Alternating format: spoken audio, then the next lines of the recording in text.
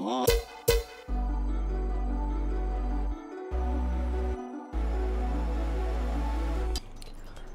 everybody, welcome to the next Fatal Rose Creations tutorial in creating a Sims 4 mesh.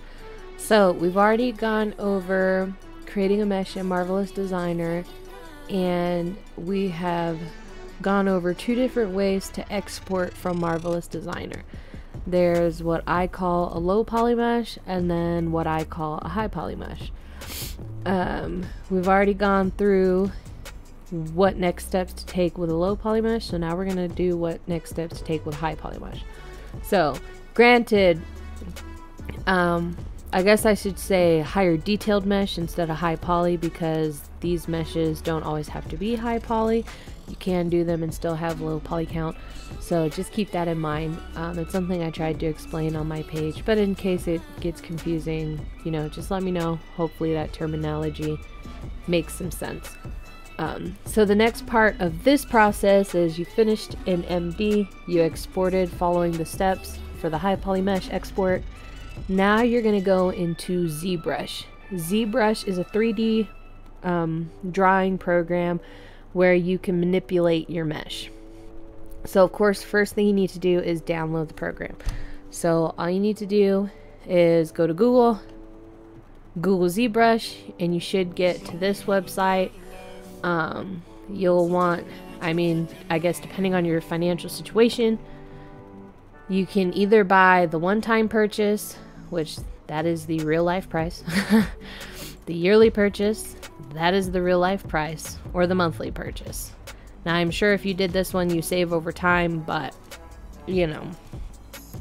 I have never actually worked with ZBrush Core, so I do not know what the difference is.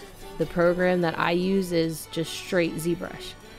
Um, if you are a student in college, there is a student package that is significantly cheaper than the regular package. I will link those instructions below. I'm not endorsing not paying for the program, but theoretically, if one was to YouTube cost more cost efficient ways to acquire ZBrush, I'll leave that with you.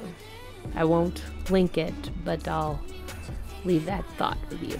So anyway, this is where you go to get ZBrush, and then we fry up the program. So when you get into it, it's most likely first gonna look like this. Well, a box will pop up, you close that, then it'll look like this.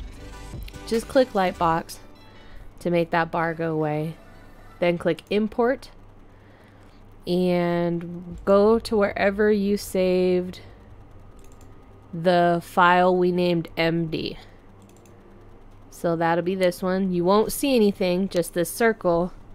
Just click, hold, and drag.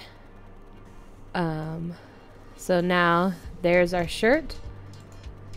Click edit, and then we can click frame so we can see the whole thing. So first things we need to do is over here.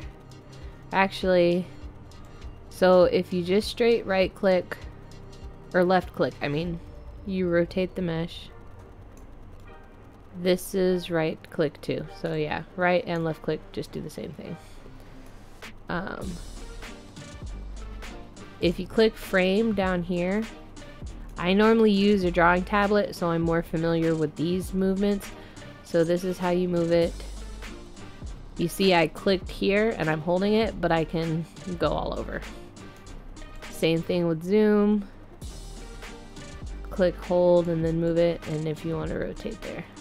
I know that there's other keys to do it, but like I said, I normally use a drawing tablet and therefore can interact with these with my pen without having to use my mouse, so I'm not familiar with those other ways to move in ZBrush. But I think even doing, I use this with my mouse too, so. Anyway, now that we know how to move, and we got the mesh in here, we're gonna go to polygroups, click auto groups with UV, then display properties, click double, now we can see the inside.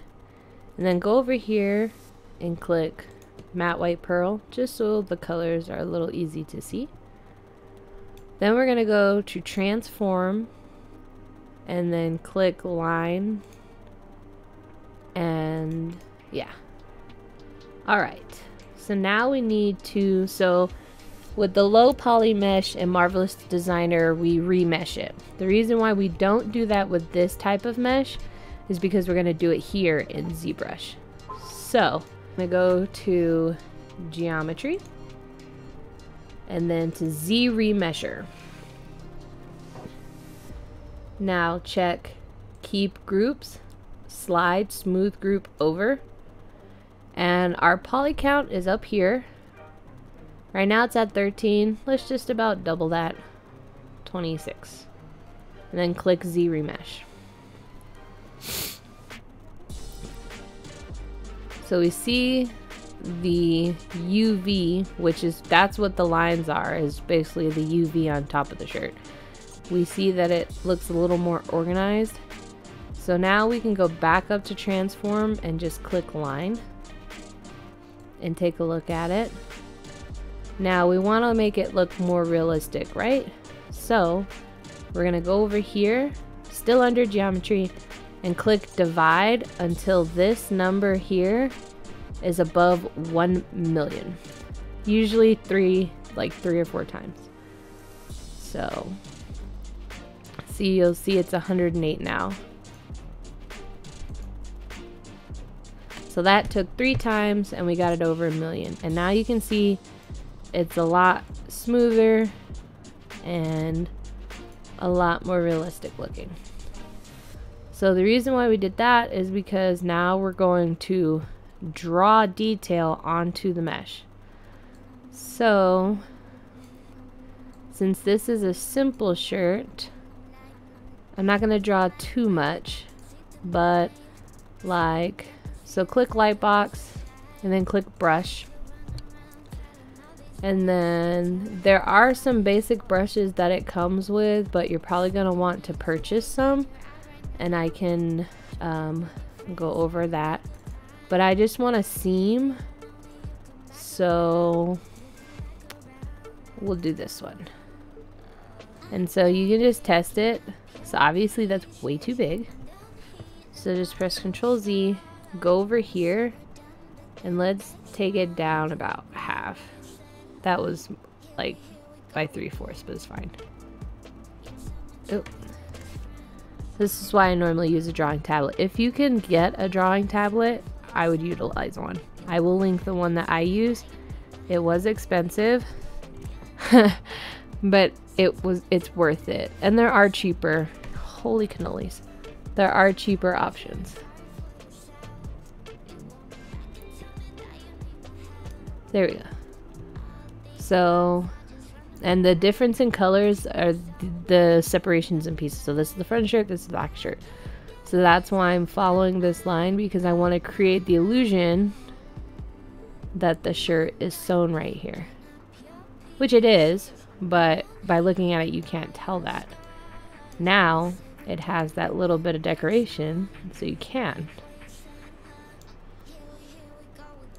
And then I'm also going to use that same pattern to do this seam right here.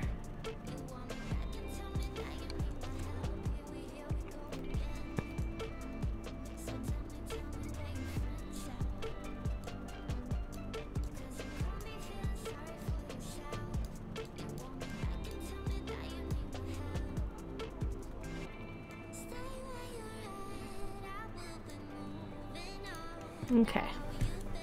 And then I'm gonna get just like a crease. So this one will probably do. And I'm gonna go from the top of this line to that one down there. So that's way too hard.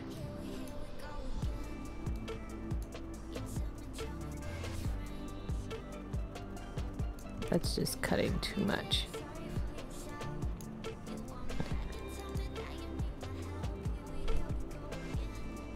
Okay, that one's good.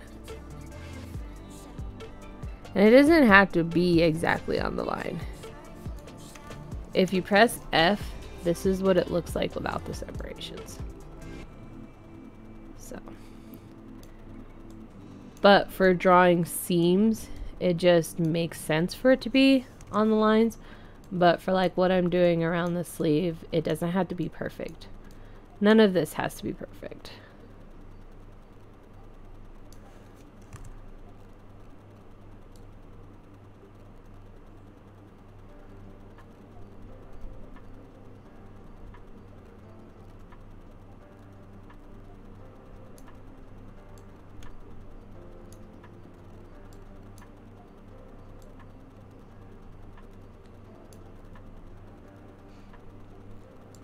So then we can frame it, move it around, take a look at it.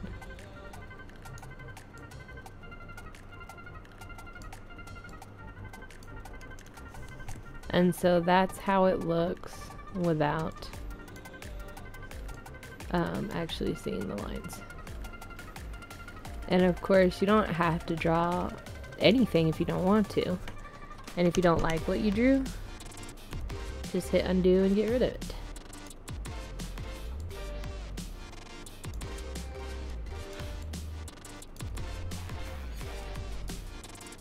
And if you undo too far, you can do this to get whatever it was back.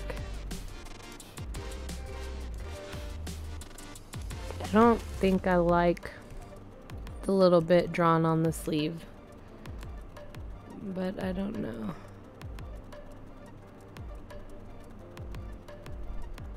We'll just leave it how it is and see how it goes.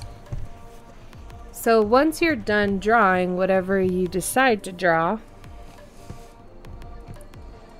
you can go to um, export and name this one. Just change the MD to HP and save it. Now we're going to go to subtool and we're going to duplicate this mesh. So now there are two of the same exact mesh. Turn the light or the eyeball off. So we're only seeing one of the two. And we're to create a low poly version from the drawn on version. So go back down to geometry and then we're to Z remesh it since it's a t-shirt. We're to take it down to about five. If it's a shirt or pants, I aim for five. If it's a dress, I do about 10 because that doesn't translate perfectly to Blender. So in Blender, it's going to end up being after adding the EA body and stuff. It's going to be about 11,000 polys, but I always try and keep it under 15 for shirts, 15,000 because that's TSR standards. And like I said, it's not a requirement, but it's just kind of a standard I've started following. So that's a good number. So that's why I shoot to remesh it for around four. And you'll notice this part, depending on your computer, may take a long time because you're going from a 1.7 million poly mesh to a 4,000 poly mesh. So you see it loading up here, just let it do its thing.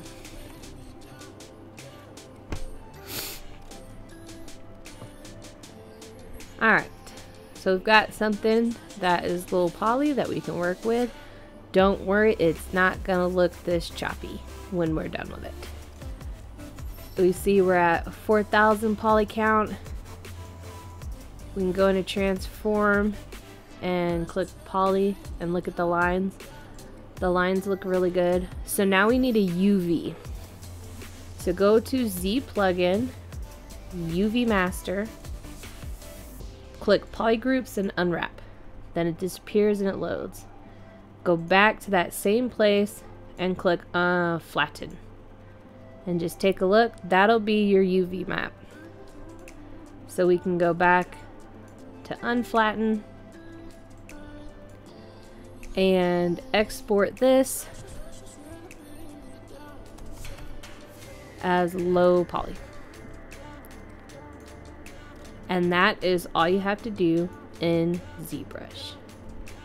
Thanks for tuning in. Hope to catch you in the next part. This has been a Fatal Rose Creation production.